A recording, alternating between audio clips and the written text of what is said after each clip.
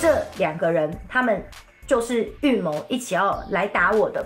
我认为现场一定还有第三个人，谁买的凶？这背后我认为有一个庞大的帮派势力在操弄这样子的行为。真正的黑道绝对不是这样做事情的。今天教唆的这个人把你们整个帮派害惨了，现在怀疑是的人。听说超派有来给我留言，是不是？我不知道超派你本身的那个技能是什么。你说我没有技能，也是啦。你的技能是投胎嘛？你会投胎就好。你赢在起跑点，你游泳的时候就游赢别人了。我跳脱，我是陈怡，我是受害者的这个身份。我用第三人的角度来跟你们讲这整件事情。我认为这绝对是一个预谋犯案。他既然可以在我家门口等我一个多小时，然后在我一出门的时候马上尾随跟上，这不是预谋，到底什么是预谋？绝对不可能是认错人。他在说要。跟我合拍的时候，很清楚的讲说，请问你是陈怡吗？我可以跟你拍照吗？他知道我是谁，他只是要确认我的身份，绝对不可能像他说的什么打错人。如果他认为说他今天真的来找他的网婆，请他可以提出他在这两三个月跟他网婆之间的通联记录。他网婆跟你说他住在这里，他网婆给你看他的照片，你跟网婆之间有什么样的调情的对话内容，请拿出来。如果你拿不出来，你这个。狡辩的理由就是在说谎，而到现在你还要你的妈妈出来讲说：“哎呀，我儿子很乖啦，都是别人带坏我儿子的啦。”哎呀，我儿子怎么可能会这样啦？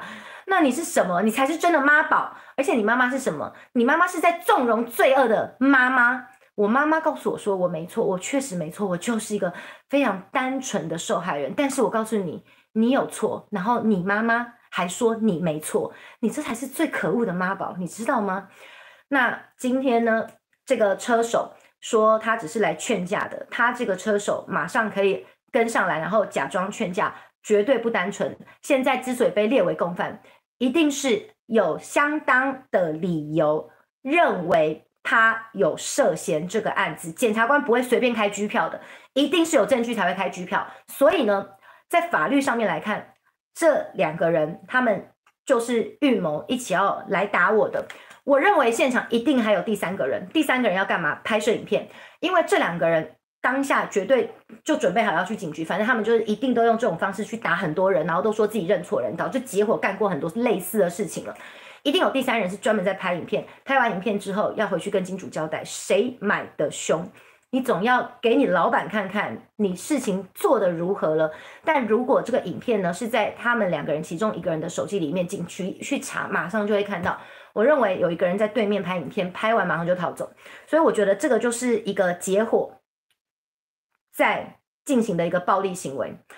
然后这两个人他们都有前科在，我觉得很有可能他们真的就是一个帮派组织。帮派组织专门收这些本来就有前科累累的，然后都是这种小伤害啊、小窃盗啊、小诈欺啊这种前科的，这种人本来就准备要进去。关一关出来，它多一条两条没关系，而且都是小小的这种东西。所以呢，这背后我认为有一个庞大的帮派势力在操弄这样子的行为，可能是我认为很有可能是帮派接案，但是也绝对不会是多高的阶层，因为就我所知，我从小看到大的真正的黑道绝对不是这样做事情的，那是真的很底、很底、很底的小弄弄在弄的东西。毕竟我认识这么多上面的人，没有一个人告诉我说他们会这样做事情。下面的这种小弄弄、小小小小小小小小奈米弄、奈米弄的这种，你可能就是一个呃奈米弄，然后就发案给这种奈米级的奈米小弄弄来弄东西。所以呢，他们接了这个案子，然后这两个人可能就觉得啊，反正有有他说是这个。毒虫嘛，对不对？有在吸的，有在有在甲油啊嘛，这也是新闻出来，我看新闻讲的。好，他就是五叠甲油啊，甲油啊等怎么样？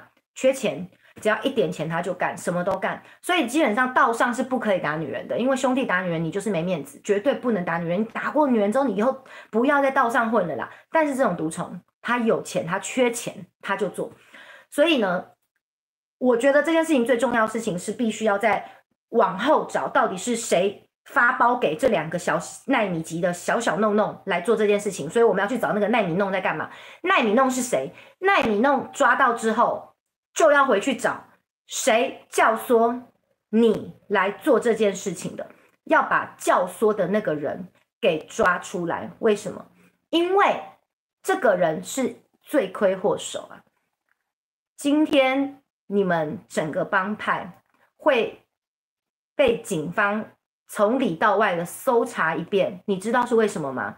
就是因为这个人害死你们的，这个人教唆你们去做了这件事情，你们才会惹上这么大的麻烦。所以你们能不好好的找到那个害死你们这个帮派的人吗？没有任何一个帮派想要被找麻烦，我相信。但是今天教唆的这个人把你们。整个帮派害惨了，现在怀疑是名人会的人。名人会难道不用好好的处理这个问题吗？我绝对相信名人会真正上面的高层绝对不会想做这样的事情。下面你们那种小弟中的小弟做了这件事情，你们上面的人也都不知道。但是。你们帮派里面出现了这样子的害群之马，我想这是非常严重的问题。如果有任何名人会的人，你们有刚好看到我这个直播的话，我建议你们要赶快的解决这个问题。我觉得，我我一直都觉得黑白两道本来就是这个社会的平衡之法。我今天在谴责的都是那种在街头使用暴力、随便就在那边小弄弄、乱打人的那种低阶八九。但是黑道这个东西要被被人看得起，最重要性就是千万不能够有这些害群之马的存在。我相信上面的这些大哥们，你们绝对也不想要有这样子的事情发生，所以我们必须要一起出来谴责暴力。害死你们的人是教唆的那个人，跟其他人一点关系都没有。好，那再来呢？我要讲的是，呃，关于法律层面，现在就是两个已经都列为共犯了，就是伤害。那，呃，至于背后的组织犯罪呢？我觉得。我们再往后彻查，有可能就是组织犯罪。那如果组织犯罪的话，就会很担心，也不确定现在查出来的名人堂是什么样子的状态。呃，名人会，对不起。然后有人讲说，呃，支持黑道不是，我必须要讲，黑白两道本来就是一个社会平衡状态。刚刚有人看到，你们有看过漫画《盛唐教父》吗？《盛唐教父》就是说有两个好兄弟，他们两个就是。经过了那个越战，然后他们两个就非常的辛苦，好不容易活下来，那他们就互相猜拳，就说一个人决定要走白道，然后一个人决定要走黑道这样子。但是他们两个希望能够改变世界，让世界更好。所以呢，为什么他们要一个去走白道，一个去走黑道？因为社会本来就是白道与黑道的平衡的存在，只是要找到那个平衡在哪里。如果你整天纵容那种小小的暴力，那那个不叫做平衡，那个就是在破坏平衡，这个就是我想讲的。所以大家不要在那边有光明，绝对就有黑暗。我今天不是说哦，我我鼓励说哦有帮派或什么之类的，我绝对当然我绝对反对组织犯罪这件事情。可是我必须要说，我们不可能，大家也都知道，如果说真的黑道能够完全的不存在的话，那是不可能的。那早在可能陈水扁时代扫黑就全部扫光啦。你觉得陈水扁这样扫黑扫得完吗？扫不完的。所以，你黑白两道本来就是要找到你们之间的平衡，才能够维持整个社会的运作。不止今天台湾是这样了，你放眼世界各国，哪一个国家不是如此？有光明本来就会有黑暗，这是最基本的道理。我只是认为说，我反对的是那些破坏平衡的东西。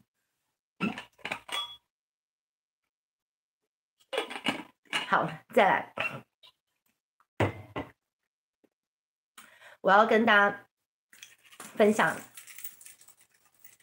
下面一段，嗯，我在这个记者会当中呢，听说超派有来给我留言，是不是？嗯，我在这边回应一下关于超派在我那场记者会当中特别抖内的留言。超派的留言说，哦，他连续抖内两次，哎哎，超派你要不要抖内我？超派你你抖内我一下，抖一下吧，抖一下嘛。那你那么有钱，不抖我一下？他说靠凑人来月收破百万，没有别的技能，只能靠贬低别人来增加自己的收入。任何事都有风险，高风险高投报。又留言说全台湾就陈一跟 Toys 被打，Why？Why？哪有？馆馆长被开三枪哎，蔡阿盖也被打哎。下一个不知道是谁，然后他说我是靠没有别的技能，靠贬低别人来增加收入。那还是说我现在来贬低你超派，希望你可以抖内我增加我的收入。呃，我不知道超派你本身的那个技能是什么？你说我没有技能，也是啦，你的技能是投胎嘛？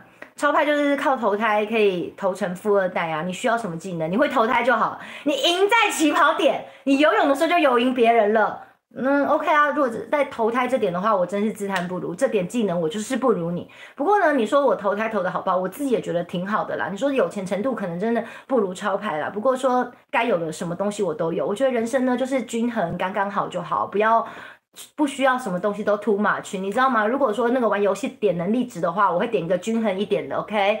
不会像比如说馆长以前智力值都不点的，整天点武力值，砰砰砰砰砰这样。那。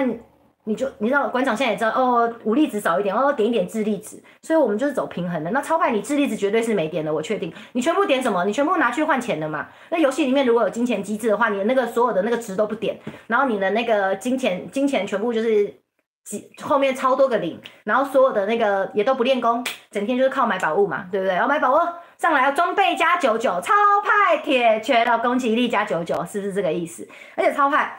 你打完人之后，然后你怎样？你敢做敢当嘛？敢做要敢当啊！那你现在逃到越南是什么概念？逃到越南还有空抖内我看我直播，是不是这样子？不是这样子嘛？你你过来，你你过来凑我要干嘛？我真不知道哎。今天是我有到你的店里面去怎么样吗？我没有，我就就事论事，我就事论事谴责暴力。你打 Toys 就是不对，不管你再怎么讨厌一个人，你都不可以去打人，你不可以使用暴力去解决问题，这是超派最大的问题。然后超派之前不是还很什么？很那个中二的写说，如果文明是要我们卑躬屈膝，我就让我们，我就让你们看见野蛮的骄傲。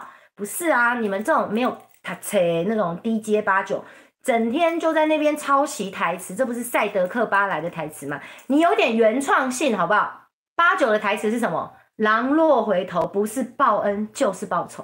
哎呀，八九还有什么台词？没有很可以，是你惹不起，有没有？还有什么？嗯。